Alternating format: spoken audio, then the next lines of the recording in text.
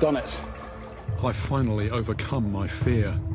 Now, I can get a good look at this deadliest of all killers.